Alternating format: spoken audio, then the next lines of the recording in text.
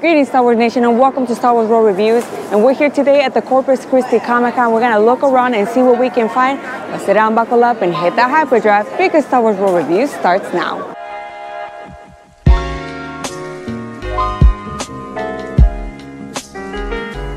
Right at the start of the camp, we found a riding Bantha. And here we have the Ultra Saber store. So if you guys ever want to get a lightsaber, Ultra Sabers. Uh, this is actually this place where I got my first lightsaber. So you get all kinds of colors, all kinds of, uh, I guess, styles of lightsabers, which is pretty cool. If you guys are looking for uh, Kylo Ren style type of lightsaber. You have uh, Ultra Sabers. So we decided to walk around and see what type of figures we can come across. And I know a lot of these figures were either McDonald's or Burger King figures. And if you know what you're looking for, some of these can be worth quite a lot of money, quite a few dollars. Uh, we also saw some vintage games and I was immediately attracted to this because I'm looking for Smash Brothers for Nintendo 64. So I love vintage gaming. But next to it, we also saw some Star Wars toys. Now, a lot of these Star Wars vintage toys can go for in really good condition 40 50 bucks if they have the weapons but a lot of these on this table were already beat up uh, they were not in a great condition and I was trying to see if I could find maybe a good looking vintage toy but unfortunately none of these were up to par. But it's good to see there are a lot of people either buying or selling uh, vintage Star Wars toys and I always love looking through a lot of these to see like I said if I can find something that I can pick up. And for those of you guys that are looking for original packaging toys, there are a lot of toys here in this Comic Con that had the original packaging and other Comic Cons that I have seen. So look out for those original packaging toys.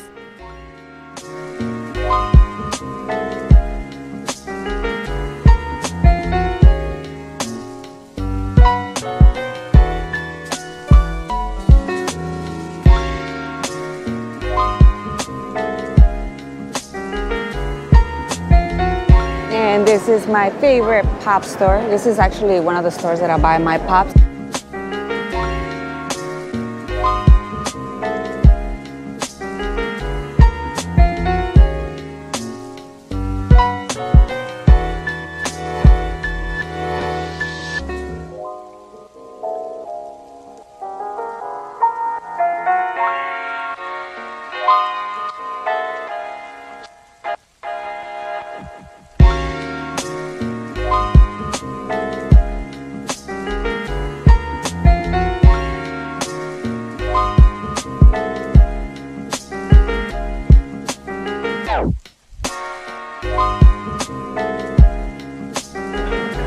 This.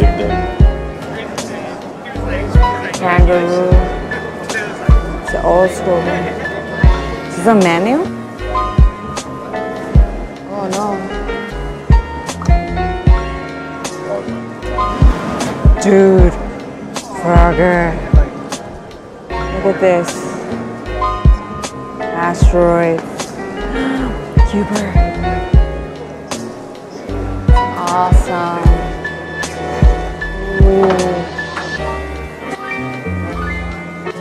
Cool. Wow.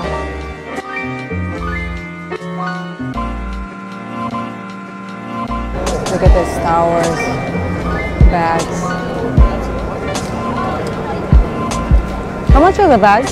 The they can come in. They oh, range oh, from 40 to 72. Mini okay. backpacks are mostly the 65 or 70.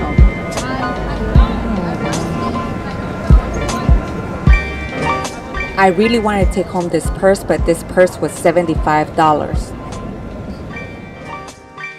When it comes to this type of artwork, I know I've seen it in several Comic Cons, but if you want something retro and also something classy, you can purchase this, you can mix and match them and put them in your home. So you can bring some of the stuff that you love in your childhood into your home decor.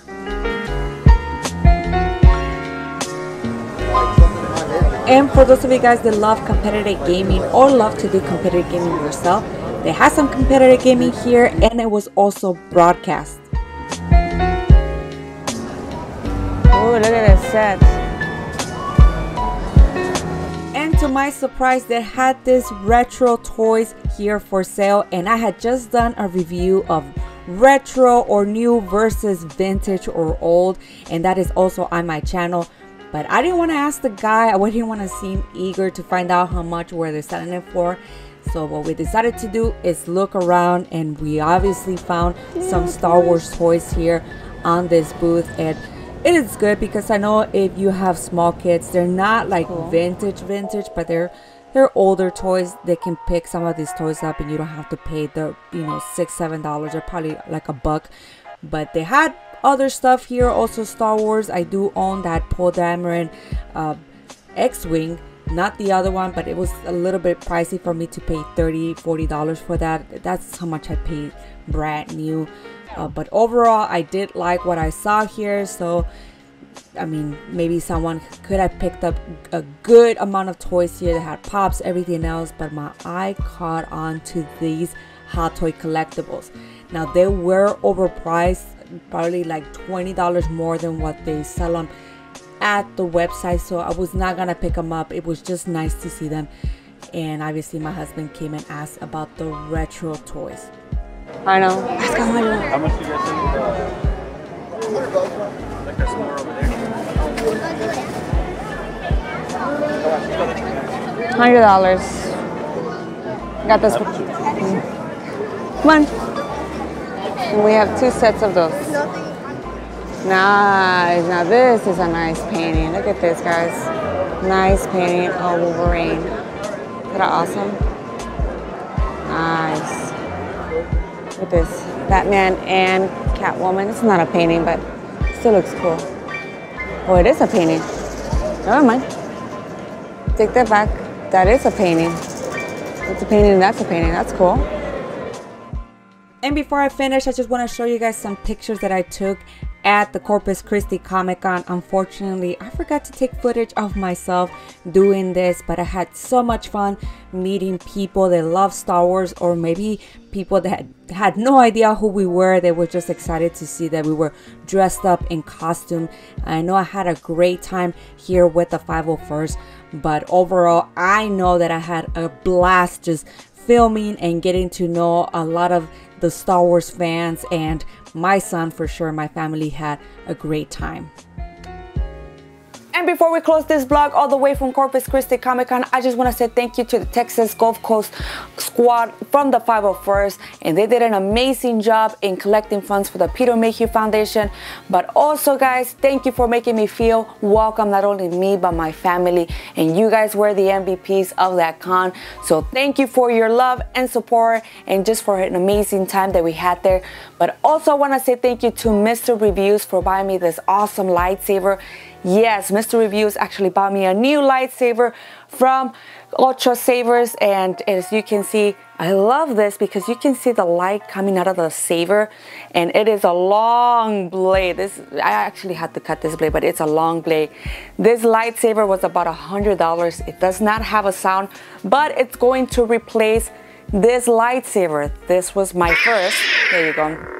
My first lightsaber. It has sound. Uh, initially, I don't know if it's, there you go. This lightsaber had a, it's called a clash. When every time you will clash it, it will have a white uh, light. But because of the many times I used the lightsaber, I actually ended up breaking it and I had a friend of mine fix this lightsaber. This saber was about $300 or so with the sound and everything, but it's already outdated. It's about six years old. But now I'll have this brand new lightsaber so I can go to practices and troop with and I don't have to put on a beating on this one.